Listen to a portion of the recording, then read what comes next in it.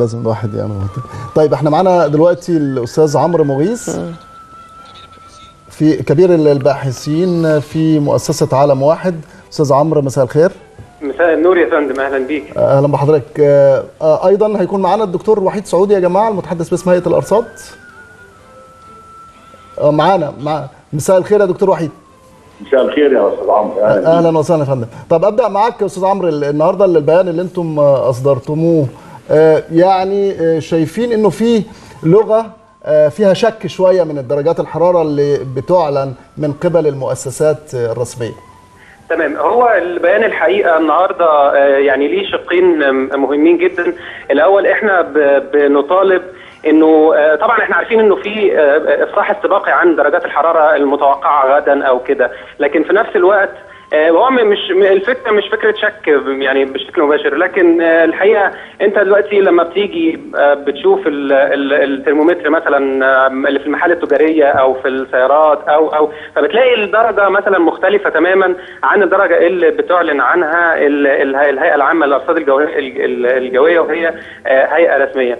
آه، دي ناحية. ال- ال- الناحية الثانية أو الشق الثاني إحنا بنتكلم في في آه، في دور ال- ال- الهيئة في برامج التوعية اللي المفروض إن هي تعملها للمواطنين. آه، خصوصا المرضى زي ما إحنا وضحنا بالبيان المرضى اللي عندهم أمراض مزمنة زي القلب والسكر والضغط أو أو.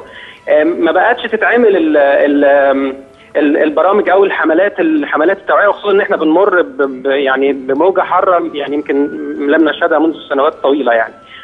فدي كانت ال- الناحية الأساسية في البيان إنه ال- ال- ال- الشفافية والإفصاح كمبادئ عامة كمان لل يعني حضرتك مش شايف- مش لكل شايف إن في شفافية؟ لكل مؤسسات الدولة بشكل عام شايف أو إن بنتكلم في- الخصوص ده لهيئة الأرصاد أستاذ الجوية. عمرو مش شايف إن في شفافية من بيانات الهيئة؟ أيوه نعم. بقول لحضرتك بسألك هل آه، حضرتك شايف إنه بيانات الهيئة بينقصها الشفافية؟ آه،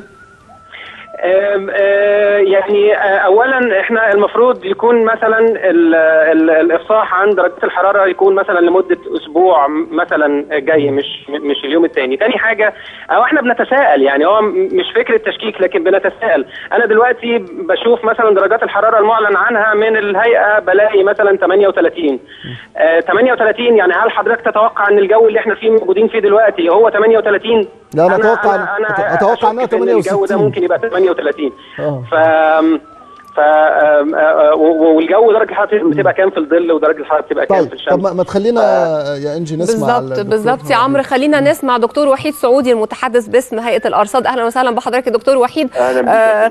رد حضرتك إيه على بعض التشكك اللي بنلمحه آه في آه صوت ضيفنا الكريم اللي قال إنه في يعني عدم شفافية تامة في إعلان ال- الهيئة العامة للارصاد لدرجات الحرارة وإنه اللي بتقولوه حاجة لكن إحنا مثلا في العربيات أو أي ترمومتر بيقول آه درجة حرارة أخرى ولكنكم بتتحججوا بموضوع في الظل وفي الشمس بص حضرتك هو لولا مصداقية الهيئة العامة للأرصاد الجوية فيما تصدره من تنبؤات ما كانتش تصدرت صدر وسائل الإعلام المقروء والمسموع والمرئي. دي نمرة واحد. نمرة اثنين حضرتك درجة الحرارة اللي إحنا بنعلن عنها وإحنا قلناها في جميع وسائل الإعلام المقروء والمسموع والمرئي. قلنا فيها حضرتك إن هذه الدرجة بتقاس في الظل ومتفق عليها دوليا تحت شروط كل بلدان العالم بتعمل بيها. لكن تحت أشعة الشمس المباشرة بيبقى إحساسي بيها كما لو كانت أكثر أو أقل مما هو متوقع.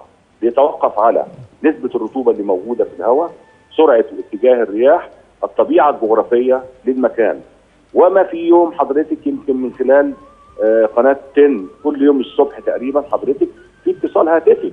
بقدم خمس ست نصايح بشكل منتظم وليس فقط على القناة الموقرة بتاعت حضرتك على جميع الفضائيات جميع آه، قطاع الأخبار وسائل الإعلام المقروء والمسموع. طب إيه اللي يتعمل أكتر من كده عارف حضرتك بس الموضوع فيه يعني خطورة شديدة لأنه النهاردة مثلا أربعة من المصريين ماتوا أيوة. نتيجة أيوة. ارتفاع درجات الحرارة هم كانوا أيوة. مرضى ضغط وسكر وللأسف ما استحملوش وتعرضوا لدرجات آه، و- لم- وتوفوا لم- فيعني لم- فالموضوع أنه في حساسية وفي خطورة شديدة وفي حرج شديد أنه لازم نعلن ال- الدرجات بالتفصيل ونحذر الناس بكل. الطرق الممكنة وغير الممكنة لأنها ده بي بي ممكن يموت ناس يعني. والله خلي وسائل الإعلام تساعدنا يعني هنغدي النهارده يعني حضرتك آه، التلفزيون بتاعك أو الشاشة الموقره بتاعتك أو أي قطاع أو أي فضائية بيطلع نشرة جويه بالعافية اتصال تليفوني مرة واحدة في اليوم.